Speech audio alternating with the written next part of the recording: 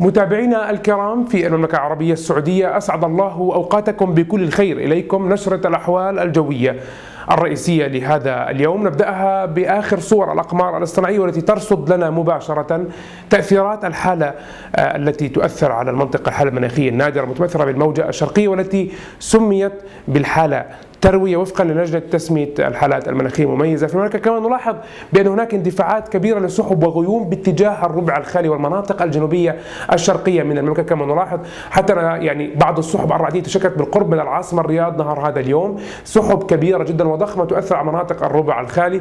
يأتي ذلك ضمن تأثيرات هذه الحالة المناخية النادرة.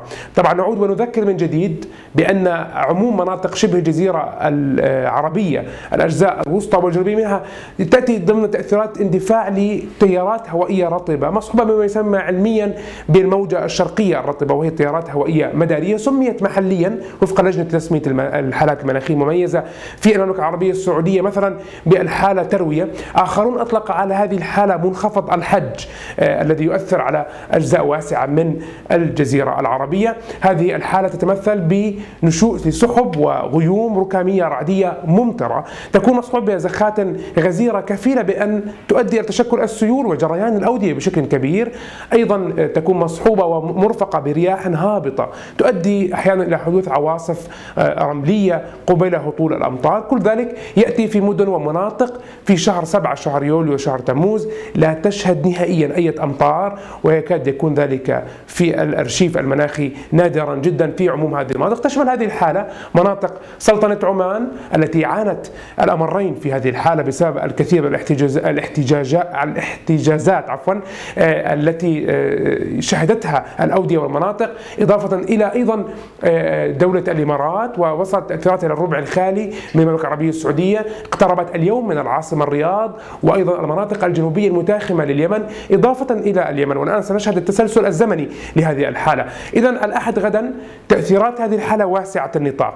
تشمل كافة مناطق الربع الخالي سلطنة عمان الأجزاء الشمالية الغربية منها أجزاء من دولة الإمارات وقطر تصل أيضا إلى المناطق الشرقية من المملكة ربما تصل شمالا إلى حتى السواحل المطلة على الخليج العربي أيضا العاصمة الرياض غدا تحت الضوء في هذه التأثيرات المباشرة لهذه الموجة الشرقية إضافة إلى المناطق الجنوبية من المملكة تلك خاصة المتاخمة الحدود اليمنية بما في ذلك شرورة ونجران مثلا وبعض الأجزاء الجنوبية الغربية من المملكة بمشيئه الله تعالى يوم الاثنين يوم وقفة عرفات تكون تأثيرات هذه الحالة متركزة على الأجزاء الجنوبية الغربية ونحن نراقب عن كثب احتمالية وصول هذه التأثيرات إلى مدينة مكة المكرمة وما حولها يوم الاثنين مع بقاء طبعا فرص الأمطار ذاتها موجودة على كافة المناطق الجنوبية من المملكة.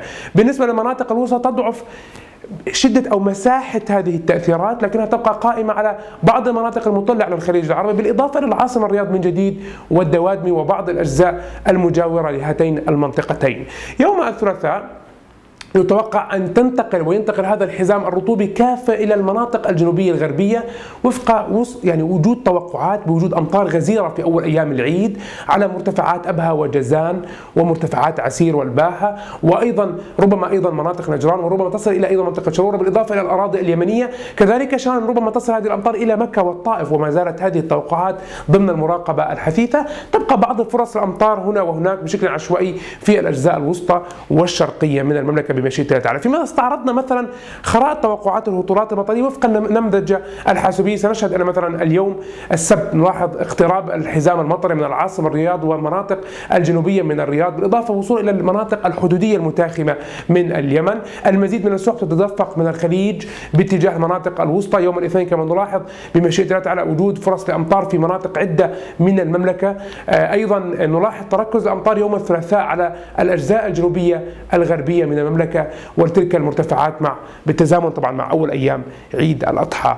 المبارك. هذه الليلة تبقى الفرص في العاصمة مهيئة لأن تشهد زخات رعدية نادرة من الأمطار التي قد تكون أحيانا مصحوبة بأيضا هبوب لرياح نشطة وأتربة مثارة ودرجة حرارة صغرى 29 درجة مئوية. خلال الأيام القادمة تحديدا غدا الأحد العاصمة الرياض تشهد انخفاضا غير اعتيادي على درجات الحرارة لا يعني أن درجات الحرارة تعود إلى مستويات منخفضة ولكن تصل إلى 38 درجة مئوية ومع وجود توقعات بهطول الأمطار سواء في ساعات النهار أو حتى في ساعات الليل. درجة حرارة صغرى 31 درجة مئوية. يوم الاثنين درجة الحرارة ترتفع تعود إلى 43 درجة مئوية. ولكن أيضا تبقى فرص الأمطار حاضرة في ساعة النهار والصغرى ليلا 33 درجة مئوية. تقريبا يتلاشى تأثير هذه الحالة عن العاصمة يوم الثلاثاء مع 44 درجة مئوية في أول أيام عيد الأضحى المبارك والصغرى ليلا 35 درجة مئوية. دعونا الآن نصل درجات الحرارة العظمى والصغرى المتوقعة يوم الأحد والطقس المتوقع في مدن ومحافظات. المملكة سنبدأها شمال من سكاكا 43 إلى 33 في عرعر 44 إلى 33 وفي تبوك من 43 إلى 31 درجة مئوية مع أجواء حارة في هذه المناطق.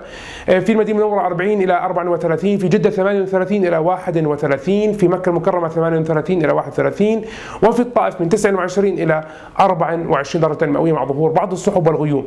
في المناطق الجنوبية الغربية ربما من الفرصة أفضليتها في جزائر جازان 36 إلى 32 مع فرص لأمطار رعدية إضافة إلى نجران ومنطقة شروره في أبها 27 إلى 18 وفي الباحة من 25 إلى 16 درجة مئوية. في المنطقة الشرقية في الإحساء 45 إلى 32 بالرغم من ارتفاع درجات الحرارة الكبير جدا لكن فرص الأمطار الرعدية حاضرة في الدمام من 40 إلى 33 درجة مئوية مع فرص أمطار رعدية أيضا نادرة. وفي حفر باطن أجواء حارة للغاية من 46 درجة مئوية في ساعات النهار والصغرى ليلا 32 درجة درجة مئوية ختام هذه الجولة. في المناطق الوسطى في العاصمة الرياض 38 إلى 31 مع أمطار رعدية محتملة غدا. في بريدة في القصيم 43 إلى 32 وفي حائل من 42 إلى 32 درجة مئوية. إذا هذا كان كل ما لدينا حتى اللحظة من توقعات جوية بشأن الحالة المناخية التي تؤثر ولكن سميت في محليا ب آه، الحالة المناخية. تروية آخرون في الجزيرة العربية أطلقوا عليها مثلا في سلطنة عمان منخفض الحج عموما أية كانت هذه التسمية في هذه الحالة المناخية هي حالة نادرة تستحق منا التوثيق لأنها تأتي في وقت, في وقت لا تشهد به مناطق الجزيرة العربية. بالعادة حضورا للأمطار بهذا النطاق الواسع لمثل هذا الوقت طبعا دائما من العام.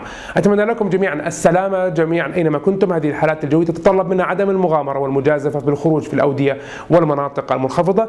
سنكون معكم في طقس العرب. أولا بأول متابعة هذه الحالة الجوية دمتم دائما بخير ومحبة. إلى اللقاء.